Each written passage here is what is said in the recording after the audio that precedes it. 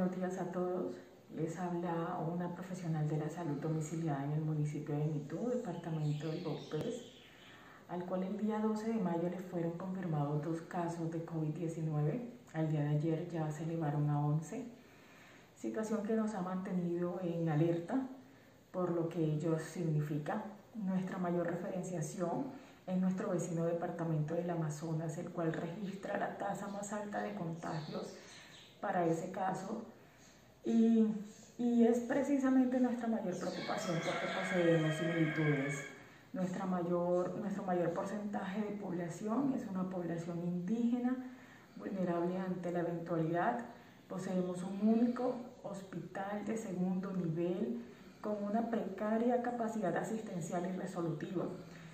Eh, no es lo mismo padecer un COVID en, en estas regiones apartadas que en una ciudad. Eh, soy fiel testigo de las gestiones que han venido adelantando nuestras autoridades sanitarias y el gobierno mismo en pro del bienestar de la población. Eh, ellos, preocupados por la salud de toda la población, han venido adelantando labores muy, muy dispendiosas para el manejo del mismo. Y es por eso que el día de hoy me he querido despojar de, de esa posición de un trabajador más de la salud para ayudarlos a gestionar.